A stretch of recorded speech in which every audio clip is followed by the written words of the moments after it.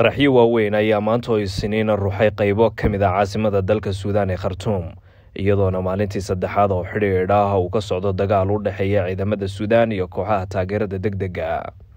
xogayaha arrimaha dibadda ee mareykanka ayaa isniintii ku biiray dadaalada gobolka loogu doonayay in lagu cadaadiyo dhinacyada ku hirdamaya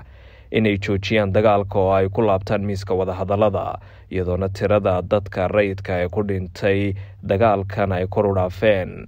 sagaashan iyo toddoba labada dhinac ayaa ku heshiiyey in dagaalku hakad la geliyo saddex saacadood oo laga bilaabo maalintii sabtidii si loo ogaado daadguraynta bini-aadantinimada ee ay soo jeedisay qaramada midoobay. Iska horimaadkan ayaa qeyb ka ah loolanka dhanka awoodaha oo u dhexeeya taliyaha ciidanka genaraal cabdal fatax al burhaan iyo genaraal maxamed xamdaan oo ah madaxa kooxda r s f labadan genaraal ayaa hore u ahaa xulafo si wada jir ah uu abaabulay afgembigii militari ah dhacay oktoobar labada kun iyo kaasoo hakadgeliyey geedi socodkii kala guurka suudaan ee u socday xukun dimuqraadi ah iyo doorasho xor iyo xalaala xamse xayd wararka afka soomaaliga c b a t v